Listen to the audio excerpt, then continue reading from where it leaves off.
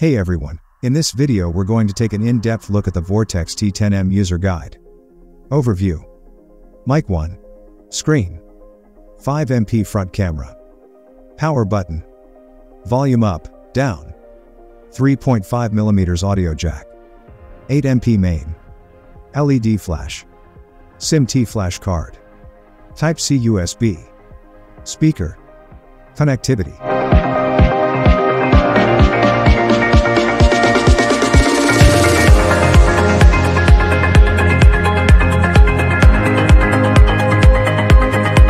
Display and camera.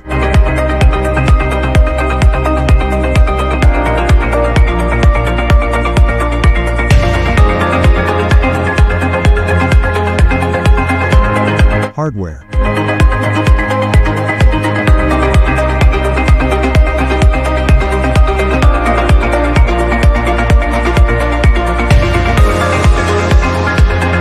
Functions.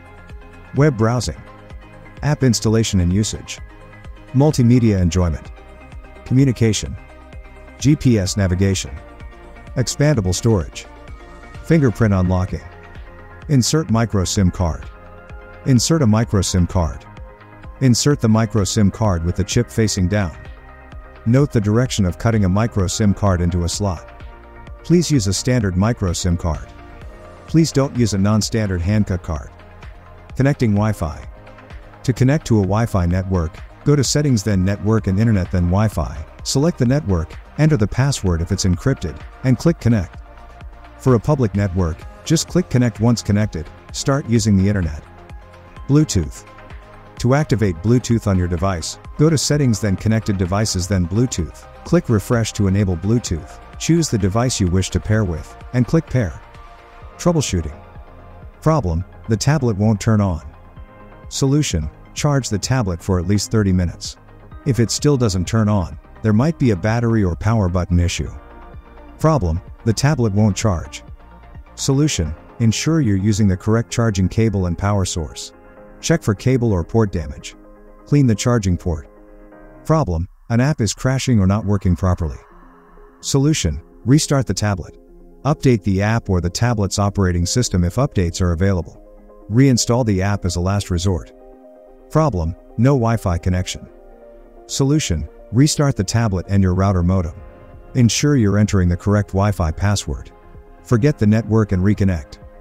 Problem, the touchscreen is unresponsive. Solution, clean the screen with a soft, dry cloth. If unresponsive, there might be a hardware issue.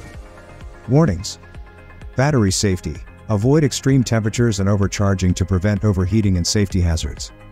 Water damage. Keep the tablet away from water to prevent internal damage and warranty void. Physical protection. Use a protective case and handle with care to prevent screen damage from drops or impacts. Software security. Update OS and apps regularly, and avoid untrusted downloads to prevent malware.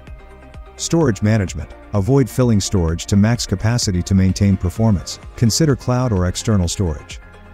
Parental controls. Implement controls for child use, and manage access and screen time. Heat dissipation. Avoid prolonged direct sunlight or poor ventilation to prevent overheating and malfunctions. For more updates subscribe to our channel.